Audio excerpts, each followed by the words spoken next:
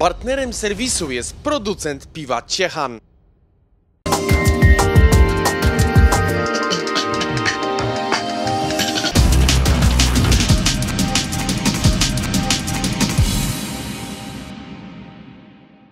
W hali stulecia we Wrocławiu rozpoczęły się Mistrzostwa Świata w podnoszeniu ciężarów, które potrwają do 27 października 2013 roku. Już w pierwszym dniu mogliśmy emocjonować się występem Marzeny Karpińskiej. Sztangistka z Nicza Biłgora i rozpoczęła rywalizację w wyrywaniu od 78 kg, które zaliczyła w bardzo dobrym stylu, by w kolejnym podejściu atakować 81 kg. Niestety błąd techniczny sprawił, że nie udało się wyrwać jej tego ciężaru. Sytuacja powtórzyła się podczas ostatniej próby Polki w tym boju i piąta zawodniczka Mistrzostw Świata sprzed dwóch lat zakończyła rwanie z wynikiem 78 kg. Taki wynik dawał naszej sztangistce w połowie rywalizacji czwarte miejsce. Na czele porwaniu znajdowała się faworytka rywalizacji Chinka Yuan Tan, mimo że reprezentantka państwa środka miała w tym boju wielkie problemy. 84 kg zaliczyła dopiero w trzecim podejściu. Drugie miejsce zajmowała brązowa medalistka olimpijska z Londynu, Koreanka z północy Chun Hua Yang, wyrywając 81 kg. Podrzucie jako pierwsza na pomoc wyszła nasza reprezentantka Karpińska z łatwością podrzuciła 97 kg.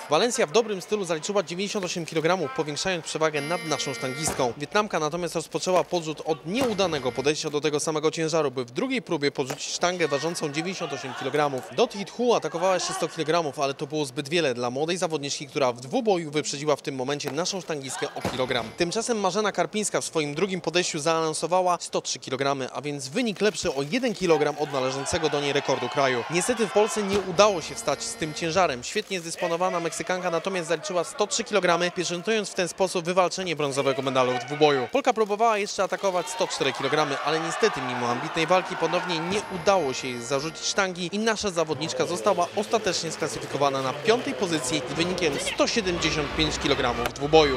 Jestem silna duchowo, fizycznie i psychicznie, ale smutna, dlatego że nie, nie pokazałam kibicom, na co mnie tak naprawdę stać i no, niech uwierzą we mnie, bo dla mnie najważniejsze są Igrzyska Olimpijskie i nie na dzisiejszy, na dzisiejszy dzień świat się nie kończy. W podrzucie bezkonkurencyjna była Chinka Can. Debiutująca na arenie międzynarodowej zawodniczka zaliczyła kolejno 106, 110, 115 kg, kończąc rywalizację z wynikiem 199 kg w dwuboju, deklasując swoje rywalki. Srebrny medal wywalczyła Koreanka z północy Riang, która w podrzucie ze sztangą ważącą 105 kg uporała się dopiero w trzeciej próbie.